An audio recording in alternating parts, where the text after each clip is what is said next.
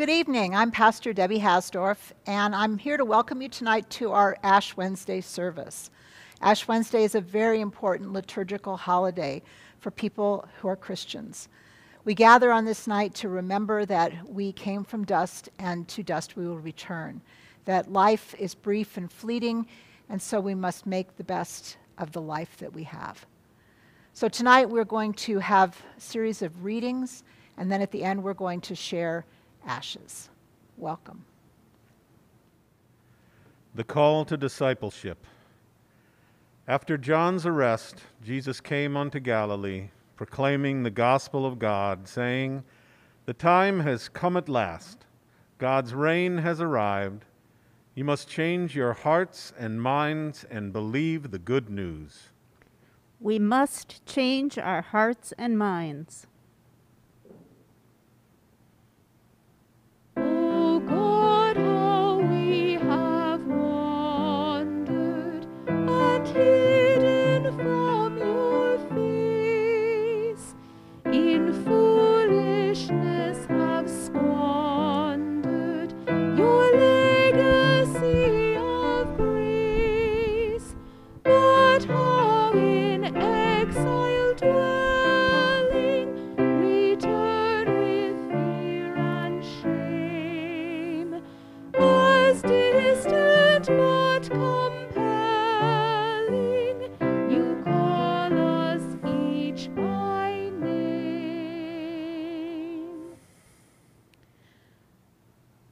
Was walking by the lake of Galilee, Jesus saw two brothers, Simon Peter and Andrew, casting their large net into the water. They were fishermen, so Jesus said to them, Follow me, and I will teach you to be fishers of humanity. At once they left their nets and followed. Jesus calls, and we follow. At least we try to follow. Trouble is, he's always out ahead of us, moving faster than we do.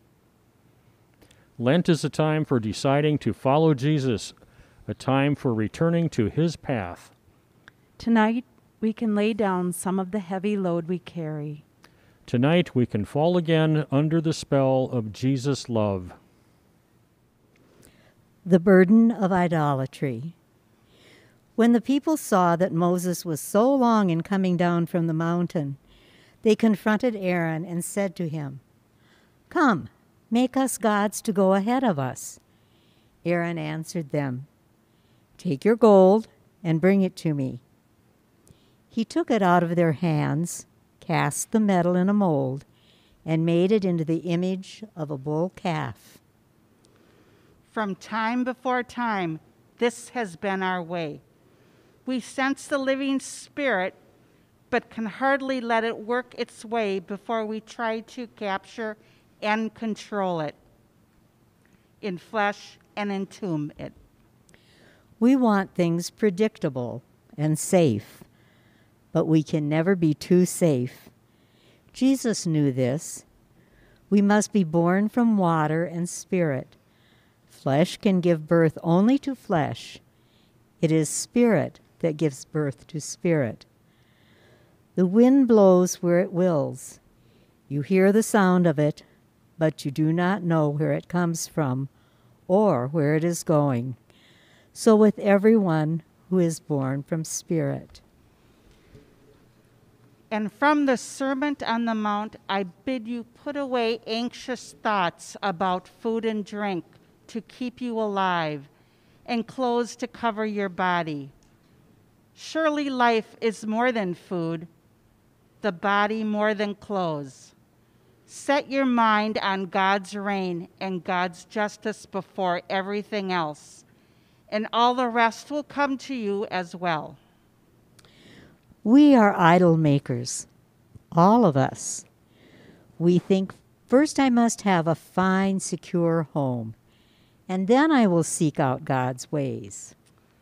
First, I must advance in my job. First, I must find a partner. First, I must be healthy. First, I must get an education. First, I must raise my children. First, first, first. But maybe we have it backward. Maybe there is no home, job, marriage, health, education, or parenthood without God. Set your mind on God's reign and God's justice before everything else. What are the idols that you and I put before commitment to God? What are the things that we want to happen before we follow Jesus? We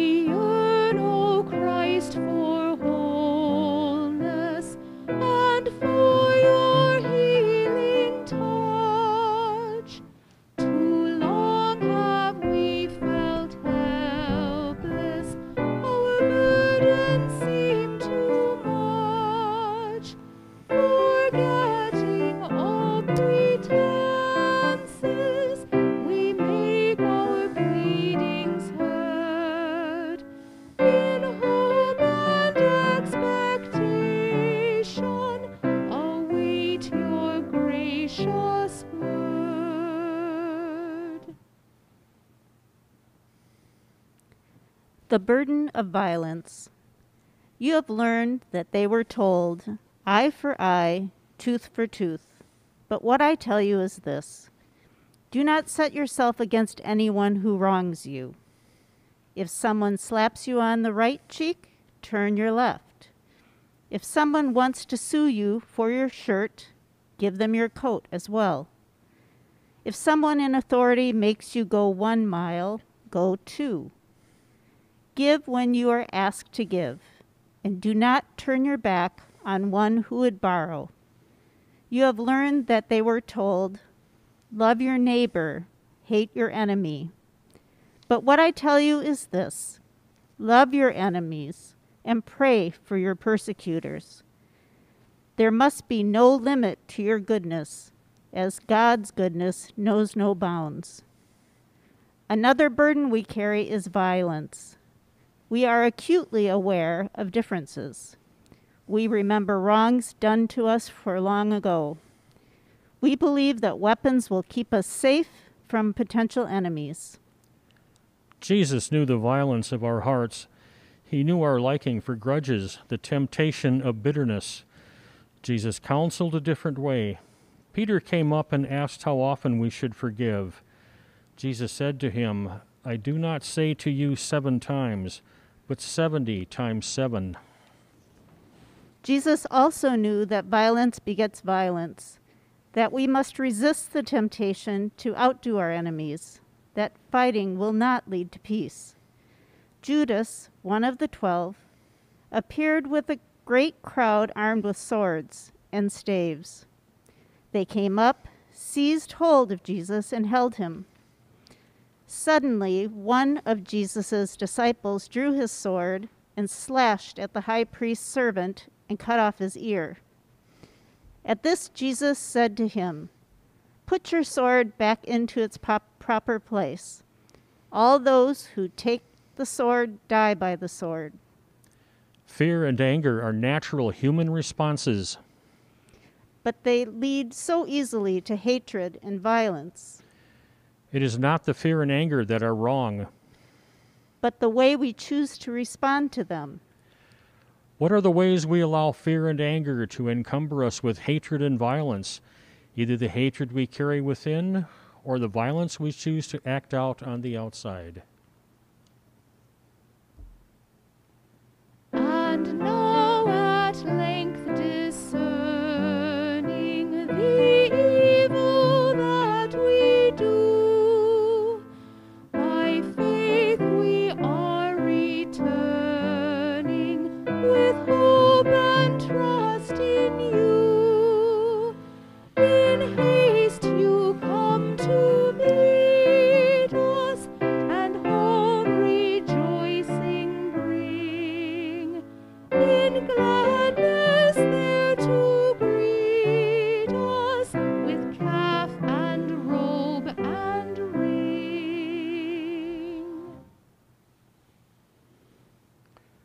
The burden of selfishness. It was at this time that the disciples came to Jesus with the question Who is greatest in God's realm? Jesus called a little child to his side. Believe me, he said, unless you change your whole outlook and become like little children, you will never know God. Whoever can be as humble as this little child is greatest in the kingdom of heaven. Like the disciples, we too are interested in greatness wealth, fame, power. At some level, we're all attracted to these. Like James and John, we wouldn't mind being chosen to sit at the left and right hands of God. Jesus too was concerned with power, but it was the power to love rather than control, the power to give rather than receive, the power to serve rather than be served. It was before the Passover festival. Jesus knew that his hour had come, and he must leave this world and go to God. He had always loved his own who were in the world, and now he was to show the full extent of his love. During the supper, Jesus, well aware that God had entrusted everything to him, and that he had come from God and was going back to God, rose from the table laid aside his garments, and taking a towel, tied it round him. Then he poured water into a basin and began to wash their feet and to wipe them with a towel. Jesus had everything power, responsibility, authority, strength. But he used it to serve, to wash his disciples' feet, to die on a cross. We also have been given power, responsibility, authority, and strength. But how are we using them? Let us ask ourselves how we are weighed down by not using our power with love and our responsibility with wisdom.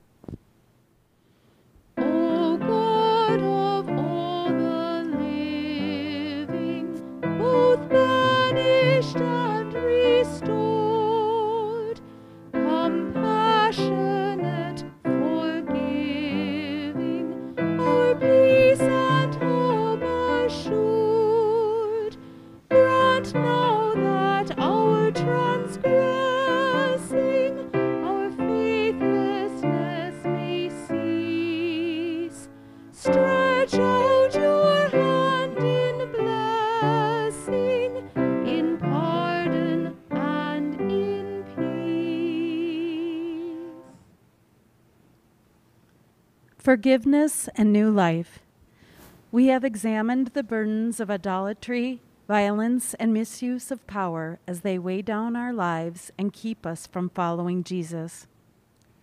These are a heavy load indeed. Yet the good news of our faith is that Jesus seeks out people like us.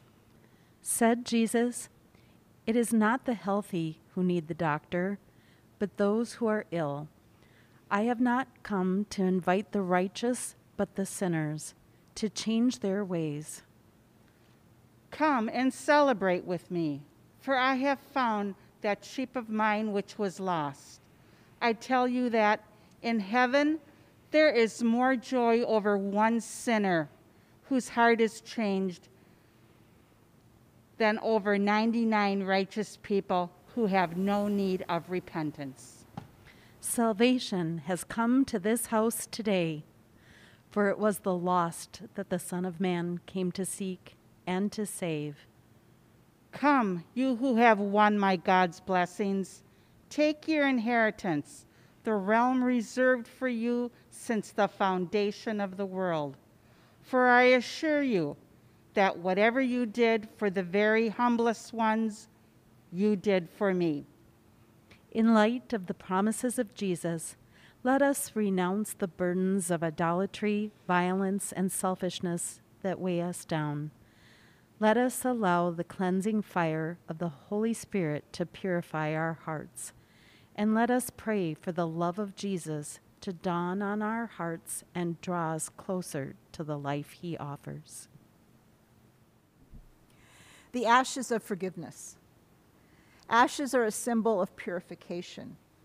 As a fire burns, it can separate what is valuable from what is valueless, just as an assayer's fire can separate a base metal from one that is precious. In this same way, the ashes are pure. They are a symbol of the new space that is present within us for a new life. Let us claim the new life Jesus offers us. Will you pray with me? God of love and mercy, we come to you in prayer, seeking to change our hearts and minds. We confess the baggage of idols, bitterness, and self concern that we so often drag along with us, struggling under its weight, all the while we attempt to follow Christ. Cleanse us from our attachment to these old things. Burn away their power in us and purify our hearts. In place of old ways, fill us with the new fire of your Holy Spirit. Open up new opportunities for us to follow Jesus in loving you and our neighbors. In Jesus' name, we ask these things. Amen. Friends, receive the good news of our faith. For in the name of Jesus, I announce that our sins are forgiven. The old has died. Behold, the new has come. And now we are going to share in the ashes as a symbol of the beginning of Lent. Those who wish come forward now and receive the mark of these ashes as a sign of your forgiveness and new life.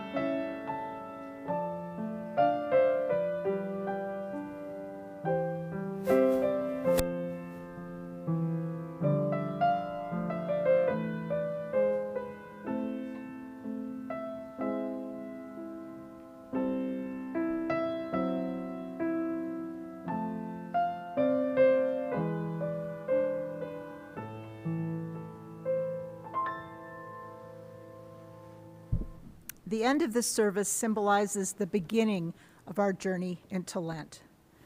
This year, after we've come through a year with so much darkness and so many hard times, I believe that we can look at Lent maybe in a new way this year. We can think about Lent as a time of opening up towards Easter, opening up our hearts, our minds, even our doors, so that we can experience the love of God at Easter time.